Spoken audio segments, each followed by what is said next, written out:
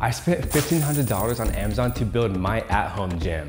And here's all the boxes. So I literally sold my Mercedes to build this hybrid gym set. I have to say I'm most excited about these, but we'll have to start with this. Can you guess what this is?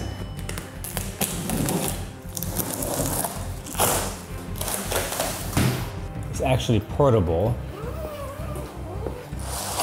It's a gym mat. It's coming up on the edge a little bit, but it just needs to be weighted down a little bit and should be good. This mat is eight feet by six feet and seven millimeters. The reason I chose a mat is because it's easier on the feet, but it's also soft enough to prevent plates from rolling around on the ground. So this is the most stereotypical important thing to add to a gym.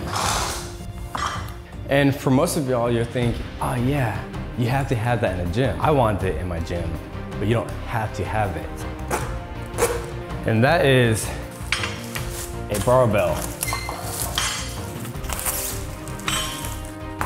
Wow, I am already pretty impressed. This grip on this barbell actually feels better than the grip on the barbells at the gym. Nice. And of course with the barbell, you need plates.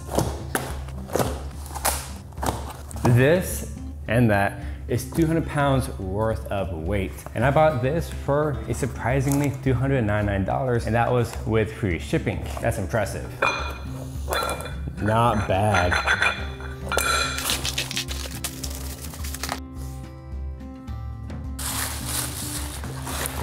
Twenty-five pounds. So you have two 45s, two 35s, two 10s, two 25s, two cookies, and four five pounds. And it comes with barbell clamps. So in total, we have 200 pounds of weight. I'll talk about what's the most important thing when we get to it in a minute. This is a seven foot Olympic style lifting bar, which is what you probably wanna strive for if you're getting a weight setup that you wanna expand down the line. Most of every weight that you buy, used or new, will have a two inch hole. So make sure you get the two inch sleeves. Of course, if you need a barbell, you need something to hold that barbell. That's where this comes in.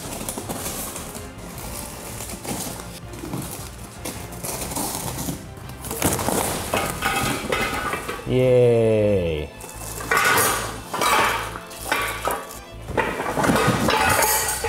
Here are the parts. Now, let's put it together. These are uprights. Now, you could get a whole cage, but one, those are triple the price. And if Olympic lifters can use uprights, so can we. We just have to be smart. It doesn't take up much room, so that's why I really like them. And they're pretty easy to set up because the weight capacity is 500 pounds. And even me as a well-seasoned lifter, have been lifting for a very long time, I'm not lifting 500 pounds. And whenever I will end up lifting 500 pounds, I'll just upgrade to something larger. I just don't need it right now. And you can always upgrade later as well. Now we need a bench. This had amazing reviews off of Amazon for only $70. Let's check it out. And don't worry, we still have one more big thing that we're about to get to in a second. This is the bench. I am actually relatively impressed for the price and the quality that it is. Now there is another more expensive brand out there that is higher quality and that has really good reviews, but this one, this is a great way to start. This one fully inclines and fully declines. And the material actually feels pretty decent. You might think it's a cheap bench, but it does have a weight capacity of 600 pounds. So that is a great starting point for my home hybrid gym. And finally, we have the most important item and something I was looking the most forward to this entire time. Woo! Adjustable dumbbells. Set to 15 pounds already. It looks pretty dang cool. These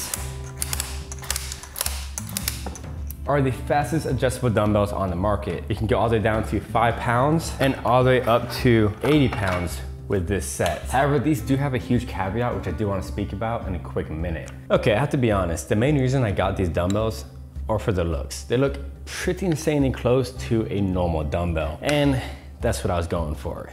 However, they're not insanely durable. You can't throw them on the ground, be super rough with them. You have to be somewhat fragile with them, which I'm willing to do for these. Now, if you don't want to baby these, then I highly recommend checking out the very durable power blocks. They're not nearly as good looking. I've used them a lot in my past and they are insanely durable. They can really take a beating. And the weight to price for the power blocks are cheaper than these suckers. However, once again, I just like to look at these. If you want to learn to build a gym from 500 pounds all the way up to 1500 pounds, check out this video. This is Chris, always appreciate and respect another. Thank you for taking time to watch this video. I'll see you next time.